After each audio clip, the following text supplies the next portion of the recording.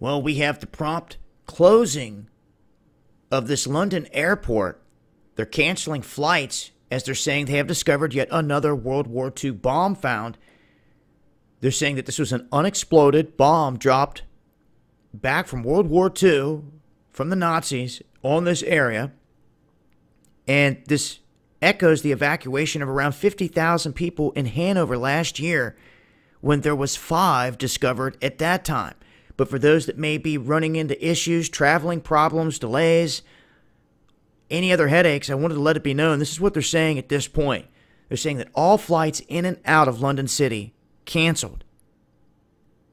An exclusion zone is in place, and they're urging everyone not to come to the airport. So I just wanted to get this out there real quick and let it be known. This is the situation there at that airport. Make sure you're following me on Twitter for the latest updates. I'll leave a link below. Peace.